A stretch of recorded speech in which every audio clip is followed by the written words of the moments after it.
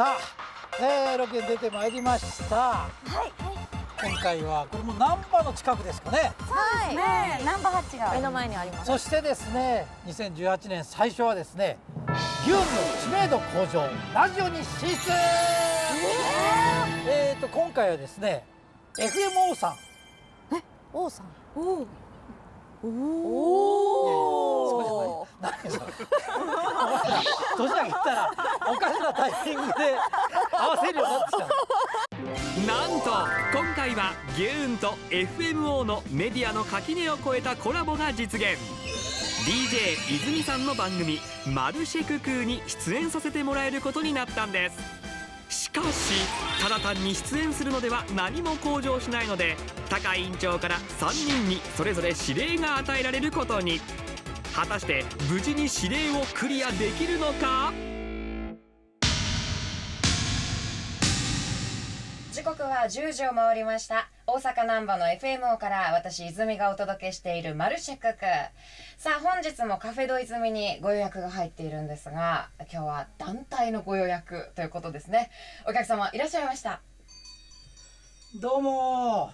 えー、予約してます。読売テレビの船越英一。あ違うあのガダルカナルタカです。はい、そして読売テレビアナウンサーの中谷忍です。同じく読売テレビアナウンサーの諸国さよ子です。同じく読売テレビアナウンサーの中村秀香です。よろしくお願いします。お願いしますカフェ形式で実際にドリンクを飲みながらトークをするコーナーなんですが開始早々あの人が仕掛けます。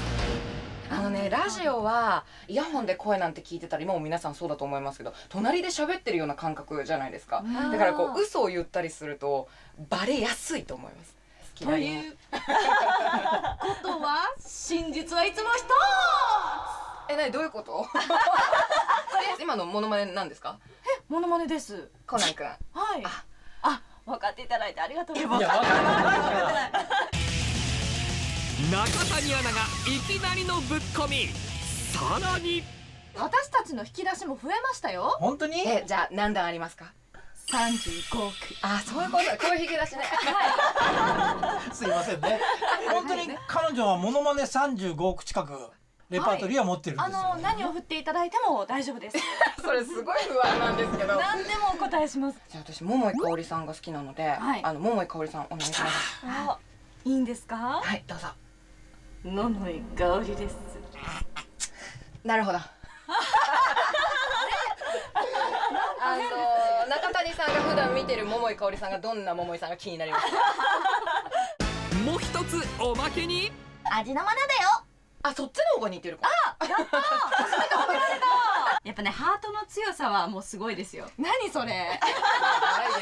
一つも似てませんでしたが中谷アナ指令クリア。そしてこの後中村アナにチャンスが今年一年どうでしたか？大変だったんじゃないでしょうかあー大変でした。チャンスチャンスチャンス。あ、いや今ねせっかくはい振ってくれたんで,、そうですね。なんかこあなんか私の話してもいいんですか？ういいんじゃない？今年一年どうしたって振ってくれたんだから大変だったこの一年。大変でしたね。何が大変頭が真っ白になってしまった中村アナ。このチャンスをものにできるのか？続く。